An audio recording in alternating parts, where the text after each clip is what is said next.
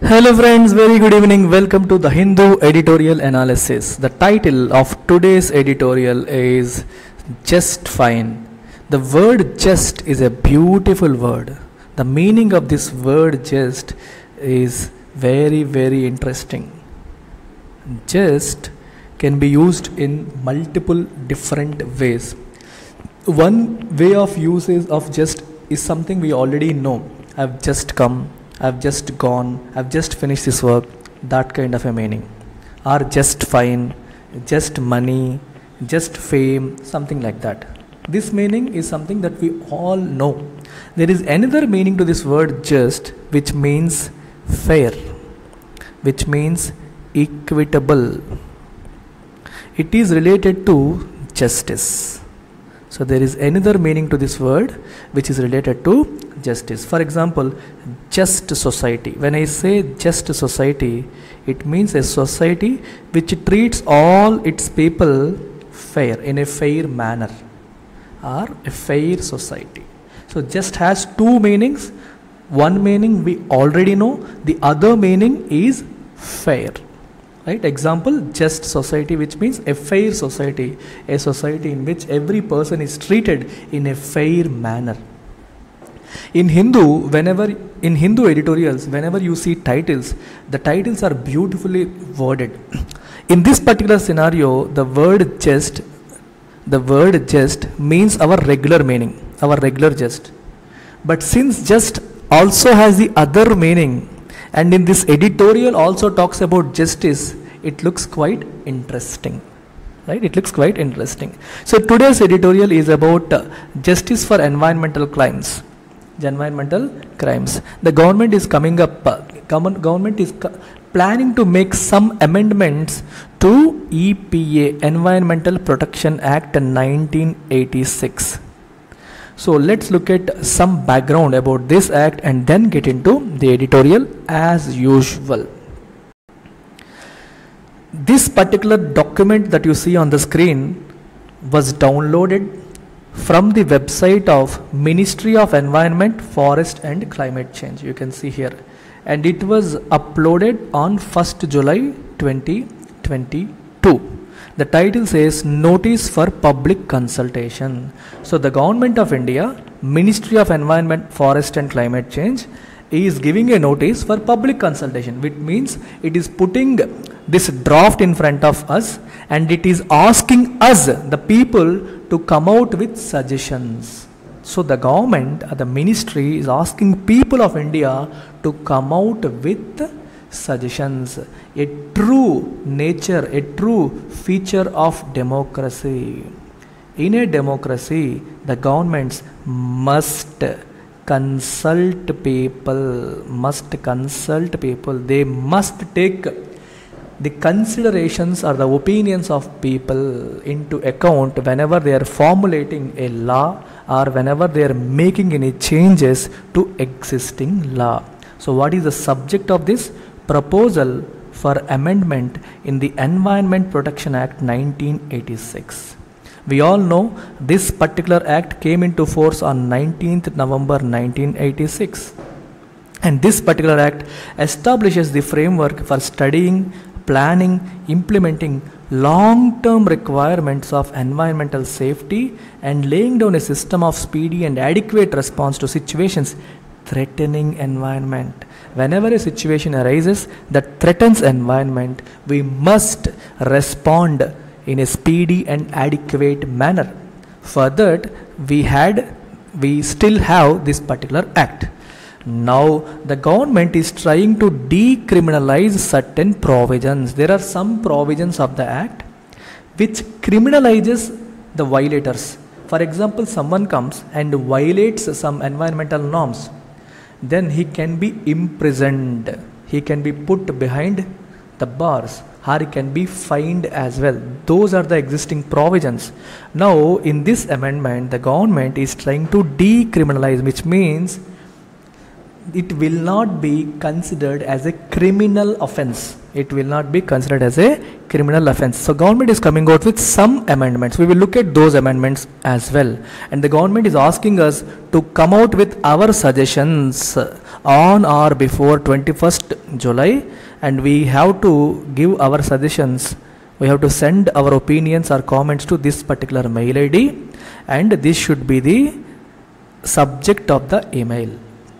Okay? Very very important. If you are a spirited upsc aspirant if you are a spirited individual if you are a public spirited individual then you will take up the mantle on you. You will take up the responsibility.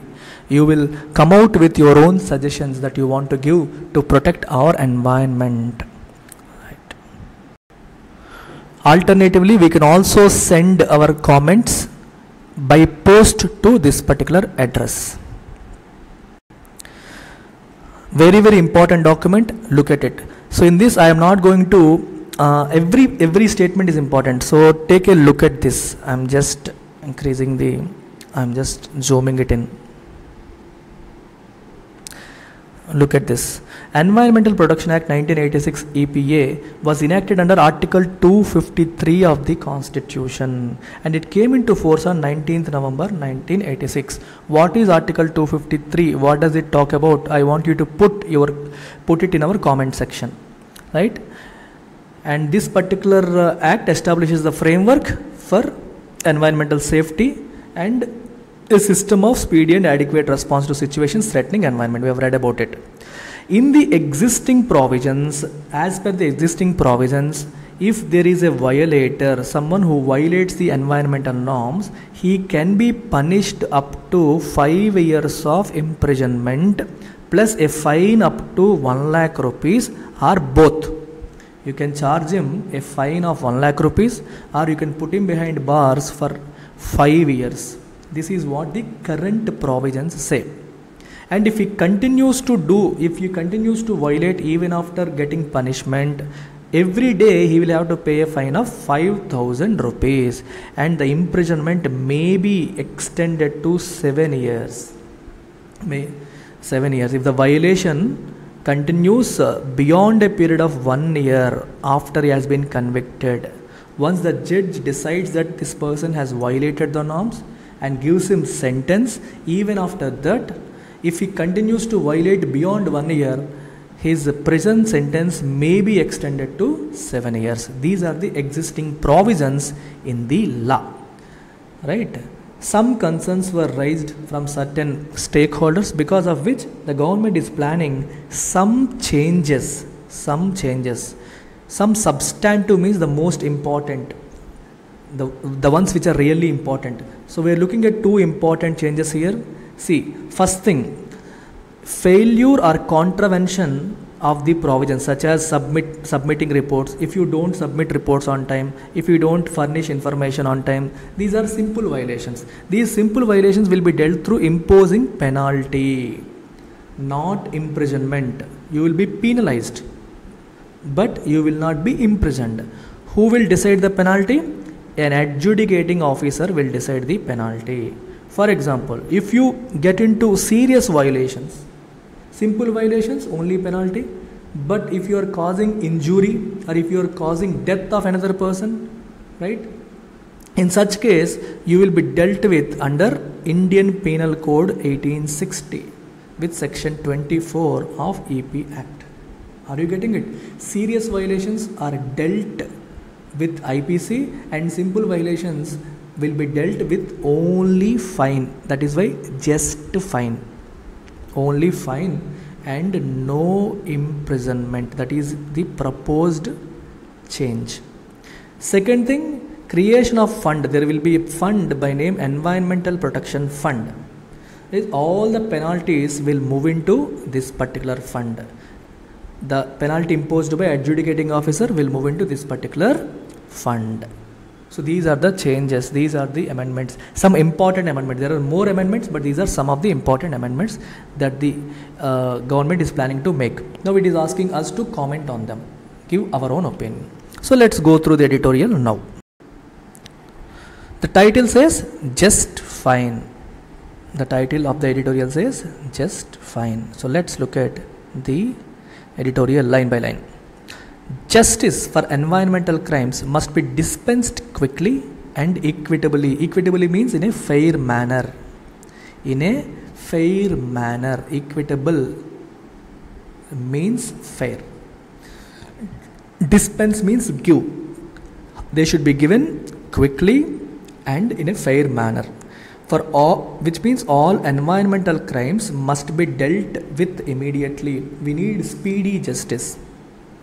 Union Environmental Ministry tasked with safeguarding India's forests and its environmental assets proposes to amend sections of key environmental legislation and make them less threatening to potential violators. Very, very important sentence.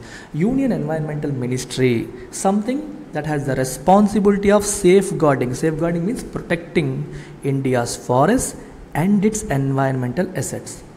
Now, this particular ministry proposes to amend, amend means change certain sections of key environmental legislation. Legislation means act. In that act, it proposes to change or amend certain sections and make them less threatening. What is the meaning of less threatening? Earlier, they had two things. Potential violators or violators of environmental norms had to face fine, also imprisonment, sometimes both but now they will only face fine they will not face imprisonment. So it is less threatening now to potential potential means possible violators. Violators means people who will violate the norms. People who will not follow the norms of environment. India has eight cornerstone pieces of legislation that define a regulatory framework to ensure that natural resources are not wantonly exploited. Wantonly means deliberately, intentionally. Just to make sure that natural resources are not intentionally exploited, we have a solid regulatory framework, which means someone, if he is coming out to violate or exploit natural resources, we have a law to take care of him today and acts of pollution are apprehended and there is a mechanism to punish and deter violators. Apprehend means to arrest someone. People who are causing pollution, we can today's law allows them to allows us to arrest them. And there is a mechanism also to punish them by imprisoning them or by penalizing them and deter violators. What is the meaning of the word deter? Deter is the exact opposite of encourage. Encourage means to, to make someone do something. Deter means discourage. Right? How will someone be discouraged? Let's say I am a person, I want to violate some environmental norms. How will the government deter me, which means discourage me from doing it? By threatening. How? If you violate, you will be put behind bars or you will be imposed fines. By giving a threat, by giving a threat of punishment, government can deter me. Deter means discourage me from doing something wrong. I'll give you a simple example. In schools, if you go late to school, what will your teacher do? She will punish you. The fear of punishment the fear of punishment deters the students from going late. Are you getting it? Students, if they are thinking of going late, they will think of the punishment. That the fear of punishment will deter, means which discourage them to go late, which means they will go on time. That is how the word deter is used. I hope you have understood.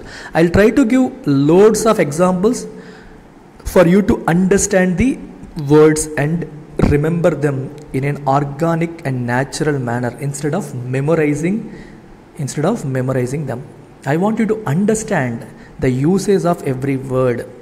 So this particular editorial analysis is a combination of improving your english skills building your vocabulary building your ability to comprehend editorials ability to read in a proper manner plus giving all the background that is required to understand it from the perspective of UPSC.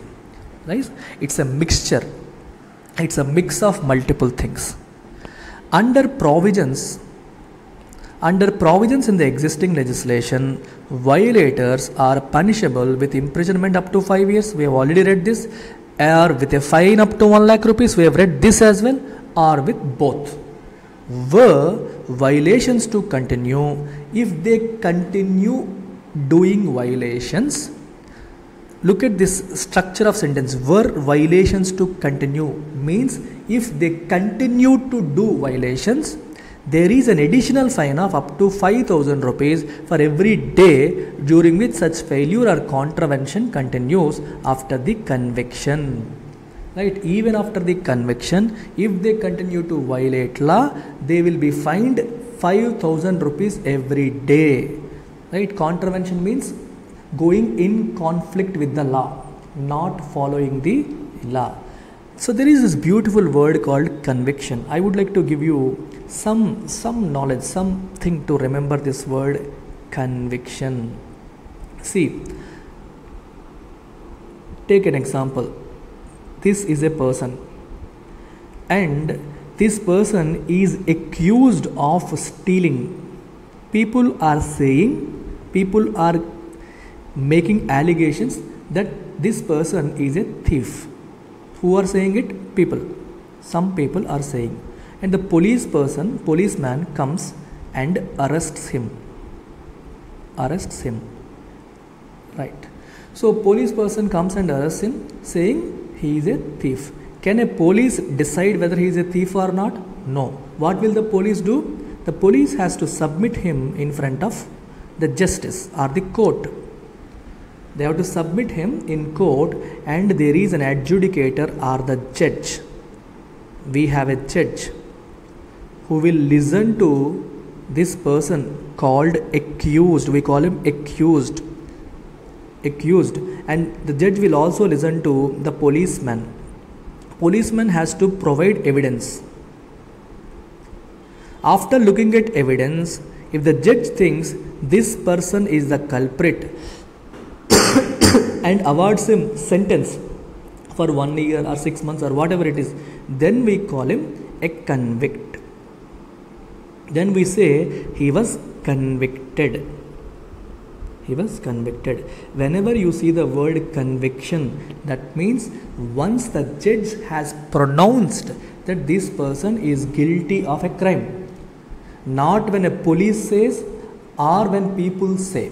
Only when the court says he has done something wrong we call him a convict. We call it a conviction. So this is the meaning of conviction. Don't take it easy.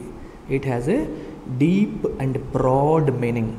Conviction has a broad meaning.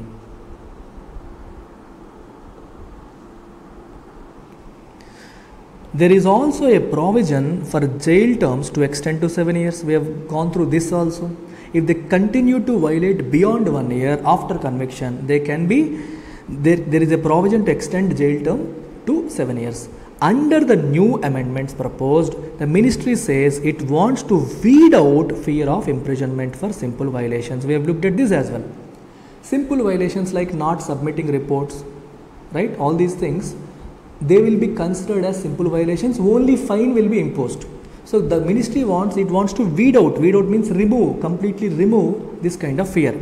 And therefore have such violations invite only monetary fines only penalties that you can pay with money however serious environmental crimes that cause grave means serious serious injury or death would invite imprisonment if there are serious imprisonments serious environmental crimes then they would invite imprisonment under the Indian Penal Code. Under the Indian Penal Code, these penalties would be decided by whom? An adjudication officer and transferred to Environment Protection Fund. We have seen all of them in the document.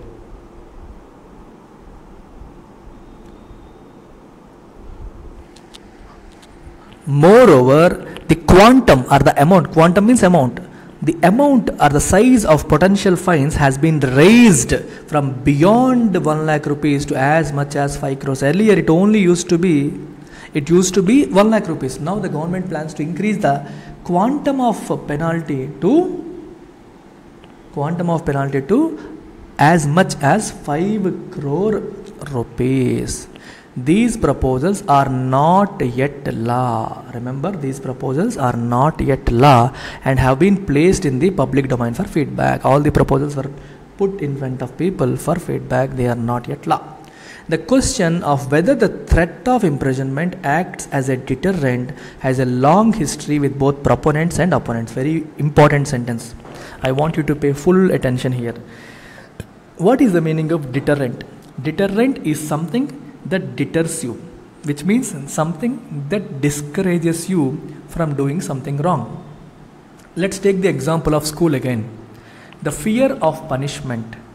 The fear of punishment acts as a deterrent for you, right? For you from going late.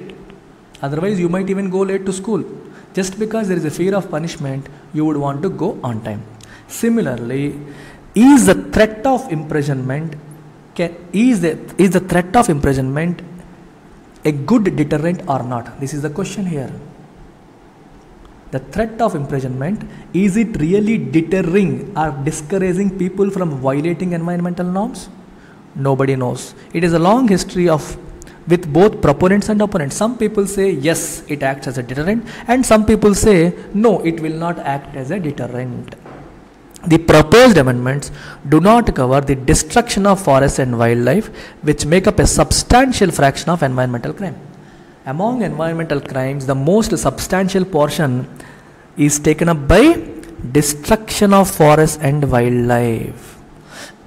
and these proposed amendments do not cover them and would continue to invite existing penal provisions. For this particular problem, environmental crimes, existing penal provisions will continue to apply. Continue to apply. Research on environmental crime in the United States and Europe suggests that fining is the most common mode of punishment. Even in advanced economies like USA and, and Europe, fining is the most common mode of punishment. India has a long history of corporate violations as well as a woefully slow redress system. Woefully means miserably, very bad. India has a very slow redress system. Even if there is a problem, even if there is a crime, we take a lot of time to redress it. Our justice is always delayed and we have so many violations in India. An analysis by the Center for Science and Environment found that Indian courts took between 9 to 33 years to clear a backlog of cases for environmental violations. Look at the time taken by Indian courts 9 to 33 years. Starting with 2018, close to 45,000 cases were pending for trial. For pending for trial, right? They are still pending and another 35,000 cases were added in the year. Already 45,000 were pending and 35,000 new cases were added. More than 90% of the cases were pending for trial in five of the seven major environmental laws. Out of the seven major environmental laws, majority of the cases are pending for trial in five. While fines could theoretically help with faster redress, what is the advantage of having only fine? He will simply pay and close the case. So we will have faster redress. Look at the perspective of government. There is a person who commits an environmental crime. Under existing provisions, he has two things imprisonment and fine. If it is only fine, most likely he will pay and close the case. If there is an imprisonment, what will he do? He will contest, which means he will move to higher court. He will move to higher court, and the case will drag on and on and on. Now, the government is thinking if we remove this part completely, and if we have only fines, most likely they will pay and they will move on with life. So we can redress, we can we can close cases quickly. That's what government is thinking. But what Hindu is saying, if there is a large amount of fine, large amount of fine that runs into crores. Even then they will go to they will go to higher courts and they will contest. It is like imprisonment right? If it is 1 lakh rupees 2 lakh rupees or 5 50000 rupees companies will pay. If you are if you are charging them if you are levying fines up to 2 crores 1 crore then again they might go to higher courts. Again the justice the, the time taken to dispense justice will again extend. That's what the Hindu editorial is saying.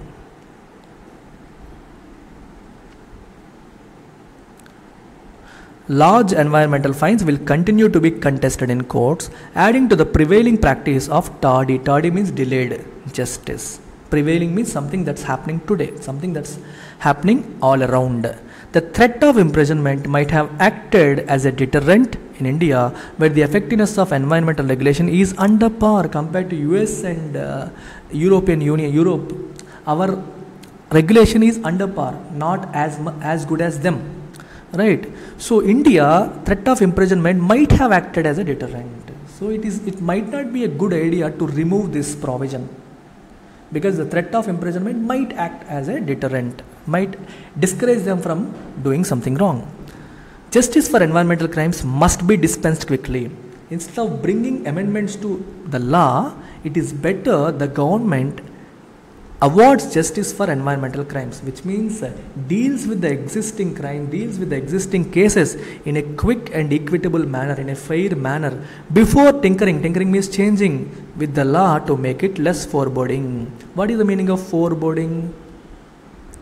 Forebode. What is the meaning of forebode? Forebode means uh, uh, what do you call fear about future, fear about what will happen, a feeling that something bad will happen feeling that something bad will happen. When there is a threat of imprisonment, people will have this feeling oh my god if i don't submit report on time if i don't adhere to the norms i might be put behind bars. That feeling of fear that is foreboding. Now the government is trying to make it less foreboding because at the max you will only pay fine you will not be put behind bars or there will not be any imprisonment. So it is reducing the risk or it is making less risky. It is making less threatening for the potential violators. Instead of doing that, the government must dispense with all the existing cases quickly and equitably. That's what the editorial says at the end. Right? This is how you need to understand the editorial on a daily basis. Take care. Bye bye.